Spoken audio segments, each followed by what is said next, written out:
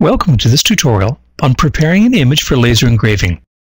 In this tutorial, we'll show you how you can make use of the tools within CorelDRAW Graphics Suite X4 so that you'll be able to easily engrave an image onto wood.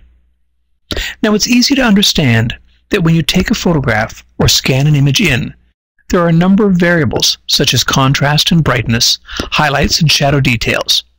What we'll need to do is create a starting point for our image that we're going to work on. For this type of workflow, we'll be using Corel Photo Paint that is included within CorelDRAW Graphics Suite X4.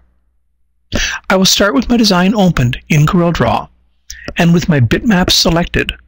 From the interactive property bar, I will select Edit Bitmap.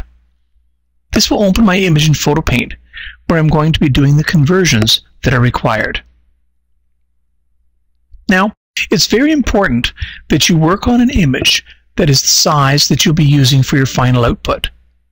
You do not want to upsample or downsample the image after you have prepared it for laser engraving.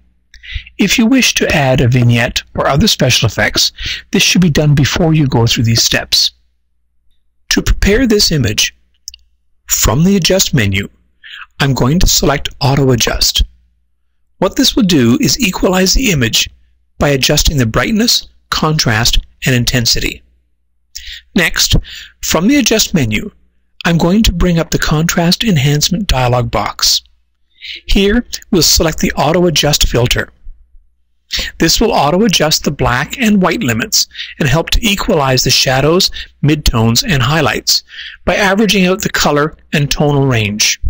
Next, by selecting Gamma Adjustment, it will allow you to reveal detail in a low contrast image without significantly affecting the shadows or highlights. I'm going to set the gamma adjustment to 2.0 and then click OK. Next, we need to set the contrast. I'll go to Adjust, then Brightness, Contrast, Intensity. The Brightness, Contrast, Intensity filter lets you change the brightness, contrast, and of course intensity of an image. You can shift pixel values up or down the tonal range. Adjusting the brightness lightens or darkens all colors equally. Contrast and intensity usually work together because increasing the contrast can wash out details in shadows and highlights. However, increasing intensity can restore this detail. In this window, I'll set the contrast to 20% and then click OK. We now need to give our image the illusion of depth. To do this, we'll use the emboss effect within Photo Paint. From the Effects menu, I'll select 3D Effects and then go to Emboss. Emboss transforms an image into a relief with details appearing as ridges and crevices on a flat surface. In this process, we want to set a shallow depth. I'm going to use a depth of 2. The level will determine how sharp or how smooth the edges are. We'll use 200 for this. And of course, direction dictates the direction that the light would hit the raised portions. I'll set this to 45 degrees, although this is not critical. And finally, the color. For this, I want to use the color from the original image to maintain the widest color range possible before converting to black and white. I'll click OK, and we're done here.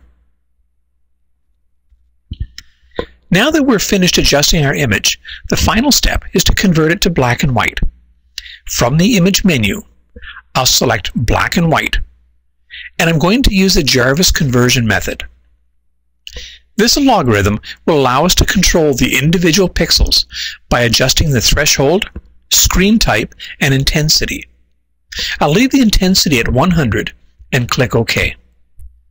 Now, it's just a matter of saving the file. I can easily do this by closing out of PhotoPaint and selecting Yes to saving the file.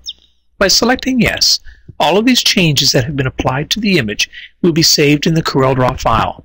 And now I simply need to output my image to the engraver using the manufactured recommended settings for the wood that I'll be using. As you can see, with a bit of knowledge and a little experimentation, it can be both fun and rewarding to be able to engrave your photos on wood and get pleasing results. All of this is possible because of the power behind CorelDRAW Graphics Suite X4.